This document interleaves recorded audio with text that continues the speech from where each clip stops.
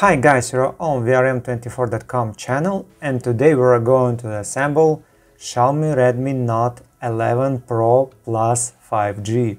First of all, we need to remove the card tray. To do this, we use a special tool inserted into the hole and carefully push out the card tray.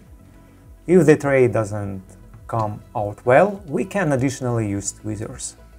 Then we need to heat the surface of the back cover to a temperature of approximately 70 degrees Celsius or 160 degrees Fahrenheit.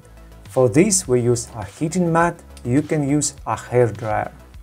And after 5 to 7 minutes we can move on to detaching the back cover. To do this, we first use a thin plastic film inserted into the gap between the back cover and the middle cover and carefully go over the edge, cutting off the adhesive base.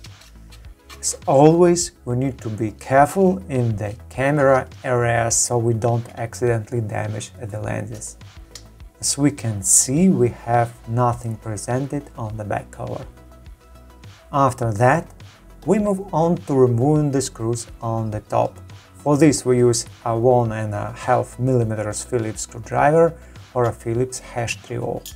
Please note that some screws are different, so it is better to place them on a special surface in a certain order so that we don't confuse anything when reassembling.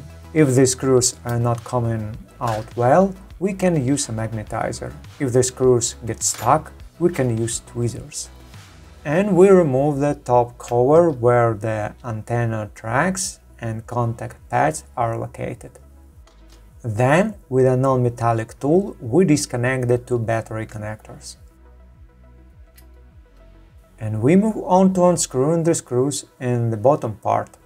For this we also use a 1.5mm Phillips screwdriver or a Phillips H3O. It looks like all the screws at the bottom are the same, but we recommend placing them separately from the previous ones. After that, we detach the cover, the cover that hides the speaker and the subboard. After that, we disconnect the interboard cable connector. Disconnect the second interboard cable connector, disconnect the connector of the display cable, and disconnect the coaxial cable. And release the cable itself so that it doesn't get in our way. We can also disconnect the connector of the second coaxial cable and remove the small antenna board to the side. Now we can detach the subboard. As always, we find the right place where we can carefully hook, lift and remove the subboard. It is best to bend the cables aside so that they don't get in our way and prevent us from removing the subboard. On the subboard we have a charging port, a microphone and card connector on the back side. And in the display frame we have a vibration motor and a loudspeaker. Then we move on to disconnecting the connectors on the motherboard. First we disconnect the two connectors of the coaxial cables. We have to be really careful not to accidentally damage the coaxial cables or the connectors on the motherboard. Then we disconnect the interboard cable connector, disconnect the second interboard cable connector, disconnect the display cable connector, disconnect the side buttons or fingerprint sensor cable connector. And we can detach the front camera. Carefully hook the edge, try to detach. We need to be extra careful because the front camera is taped to the display frame. After that, we detach the rear cameras we have rear cameras taped to the motherboard. We need to be careful when detaching the cameras so as not to accidentally damage the cables or not to damage the lenses. Then we carefully remove the second rear camera and put it aside. We will detach the large rear camera later. Next, we move on to detaching the motherboard. As always, we need to find the right place where we can gently pry, lift and remove the motherboard.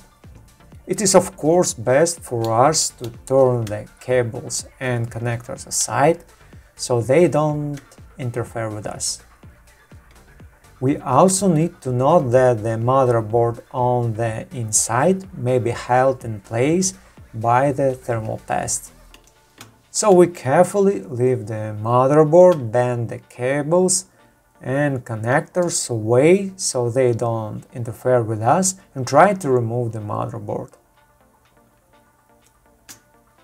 And we find the right place where we can pry it up. Pry it up, lift it up and try to take it out.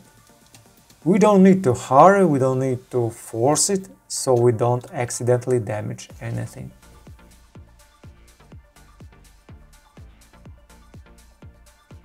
Okay, we took out the motherboard, on the back side we see the thermal paste is applied and now we can detach the rear camera. First we need to remove the bracket that holds the connector.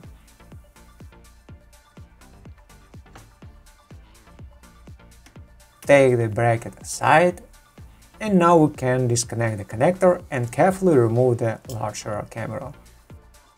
So we put the rear camera aside remove the motherboard and move on to detaching the battery.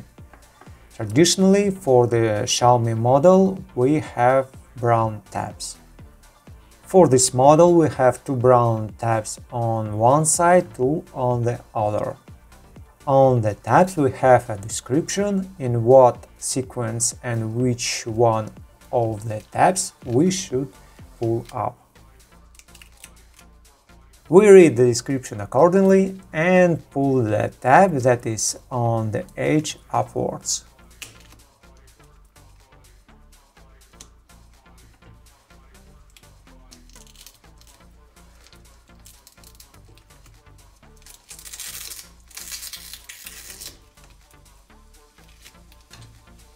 We repeat the same process for the second pair of tabs on the other side.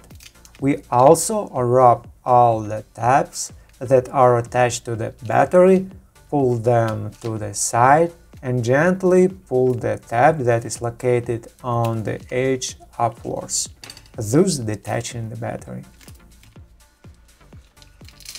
Okay, we remove the battery and we can see under the battery we have a transparent protective coating which protects the interboard cables. So this is the end of our assembly. Thank you guys for watching and see you around or in the new videos.